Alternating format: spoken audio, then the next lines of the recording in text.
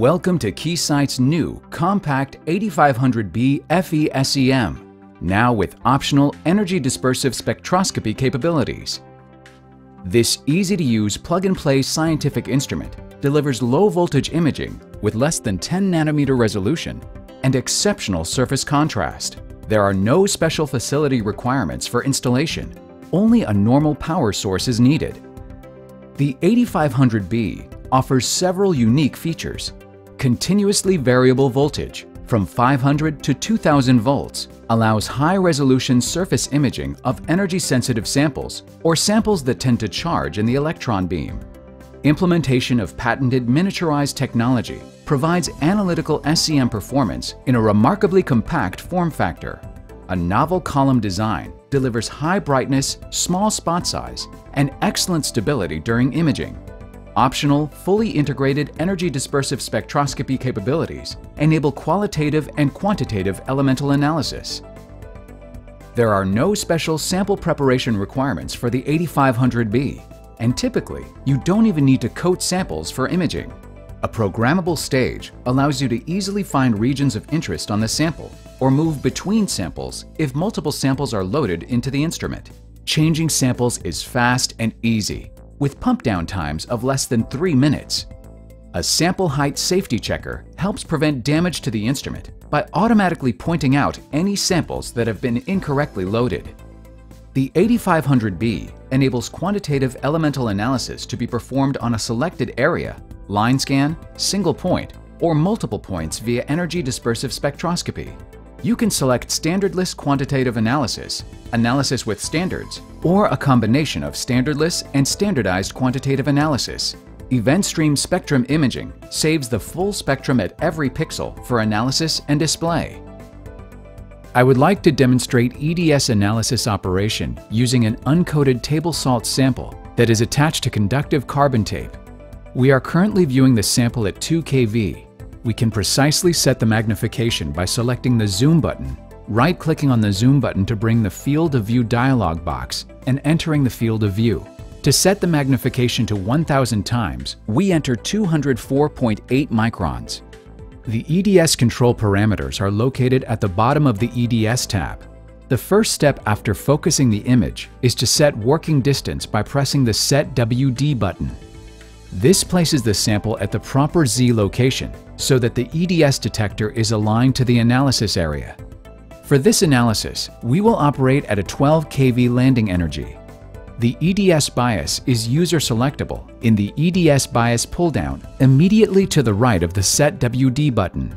To enable the sample bias, you check the Enable box. Note that the column voltage and landing energy is displayed at the bottom of the image window. We are now looking at a backscatter electron image obtained at a 12 kV landing energy. The 8500B EDS features include the ability to perform several different types of EDS analysis, including probe, line scan, and spectrum imaging modes. For this demonstration, we will use the probe mode. In the probe mode, we have four different options. Full raster provides a spectrum of the entire image displayed. Reduced raster allows the user to select a specific area within the image. Single point allows the user to select a specific point. Multiple points allows the user to select multiple points for analysis within the image. For this analysis, we will select Reduced Raster. The user can also select timing or count parameters to determine when the EDS analysis completes. In this analysis, we select Live Time and have set the total time to 300 seconds. Here we are selecting the area for EDS analysis by using the left mouse button to draw a region we wish to analyze. The final step is to start the analysis by pressing the Start button. Here we are showing the second monitor screen. This is the EDS screen. After we press Start, a reference image is set to the EDS screen and a live spectrum starts to show in real time. The spectrum image is set to auto scale so that the maximum peak appears at 80% of the full vertical scale. A feature of the Keysight 8500 EDS system is that analysis can be performed in real time without having to restart the EDS data gathering process. Here we are in the Element ID tab and can select the Peak ID function to automatically tag the element's presence in the EDS spectrum. The sodium and chlorine peaks are being automatically identified. I have turned off the Auto Peak ID and have moved to the KLM Marker Lab. I manual select the chlorine and sodium elements from the periodic table and their markers appear on the spectrum. We are now nearing the end of the selected analysis time of 300 seconds. I reselect the Element ID tab and select Peak ID. We see that there are also small peaks for carbon and oxygen. Note that this is a table salt sample and contains other impurities besides sodium chloride, in the form of anti-caking compounds, such as sodium aluminosilicate. I have selected another reduced raster area on our sample and have restarted the EDS analysis. In this area, we begin to see other peaks besides sodium and chlorine appear. I have selected the peak ID to see what other elements these peaks consist of. The oxygen and silicon are becoming apparent. I've moved back to the KLM marker tab and am manually selecting the silicon and oxygen markers. We're coming to the end of the EDS data gathering time. We have this small peak to the left of the silicon line. Since we have some knowledge of the sample, a good guess would be that this peak is from aluminum in the sodium alumina silicate anti-caking agent. We have returned to the SEM image monitor screen. I am now selecting the Spectrum Image EDS mode. I have set the frame count to 5,000. This means 5,000 scans of the image will be used to perform the EDS analysis. I can manually select the number of sample points that will be used to construct the EDS spectrum image from this pull-down menu. Since the effective probe size is approximately 1 micron at a 12 kV landing energy due to the probe interaction volume in the sample, I choose 128 by 128 sample points for this 200 micron field of view. I have moved back to the EDS monitor screen we see the spectrum starting to build as we did in the probe mode, but now also have several element window on the left side of the monitor screen. While the EDS events are being gathered, we can customize the element window in real time. We can select which elements appear in this window without having to restart the analysis any time during or after the EDS event gathering. This includes which elements we wish to see a spatial map for and what other images we wish to see. We can also select the Element ID tab and auto-identify the element peaks, and also get an estimate of the quantity of elements present. We are performing an EDS analysis of this full image. I am manually selecting the KLM element markers just to confirm the element peak auto-identification based on what I know to be present in my sample. Auto ID of peaks is confirmed. In the Element ID tab, we can force a peak ID by clicking on the element if we positively know that it is present. The element then appears in green in the periodic table. Likewise, if we have a false positive of an element being identified that is known not to be present, we can click again to turn the element marker red. Beryllium and boron are turned off in here since they lie below our detectable limits. I am looking at the element quantities present in this analysis. Welcome to the Low Voltage Software Overview for the 8500B Field Emission Scanning Electron Microscope. In this segment, we will present some of the basic software functions that come standard with the 8500B as we look at a sample of non-pure sodium chloride crystals, typical of those found in salt packets at restaurants and cafeterias. We begin in the low magnification view, with one salt crystal located at the center. The 8500 software allows us to measure feature sizes or the field being viewed, which is currently about 930 microns.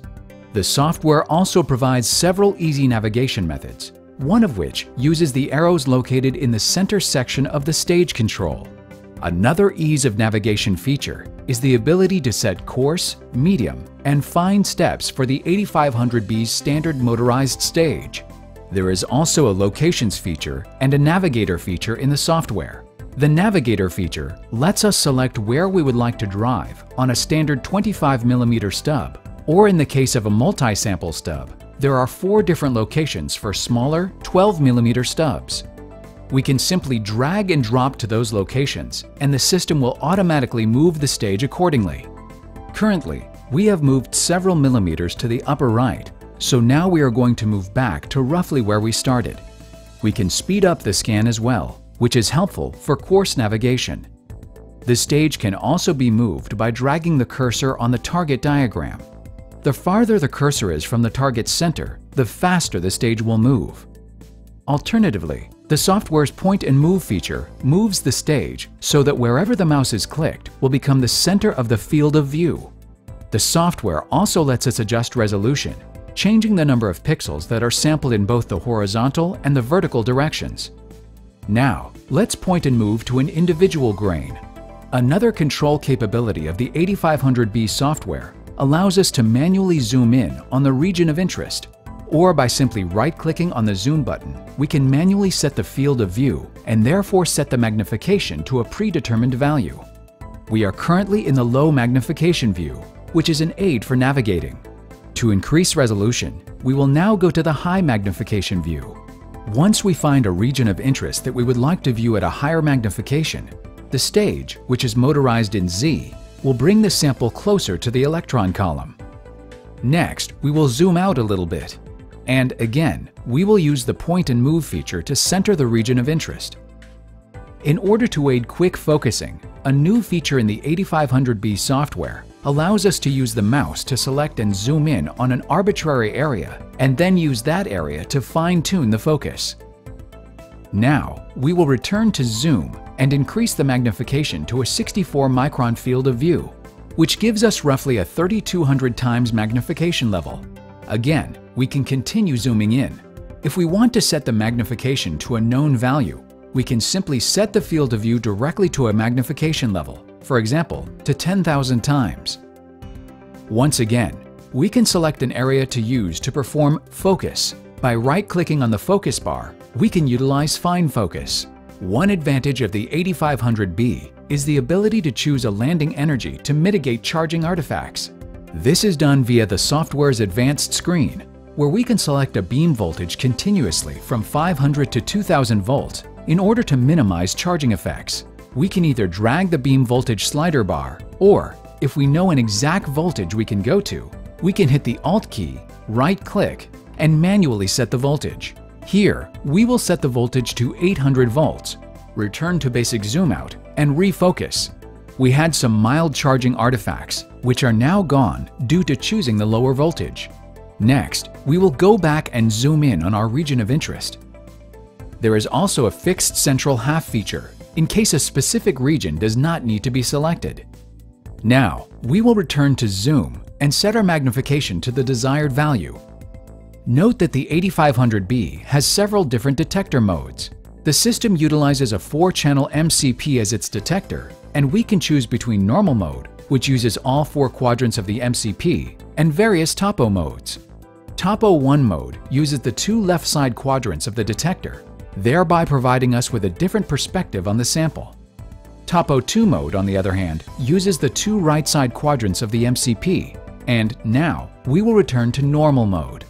Another standard feature of the 8500B is that it can detect secondary electrons or backscattered electrons, which can provide contrast when the atomic number of the sample varies greatly. Currently, we are using the secondary mode of the detector. The 8500B also has a new image tiling feature that can be used in conjunction with stitching. This new feature allows us to assemble a number of rows and columns. The tiling feature automatically recommends the step size based on our current field of view. Now, as an example, we will instruct the 8500B to gather 2x2 images around the origin, which is the center point. We can also auto-name the set.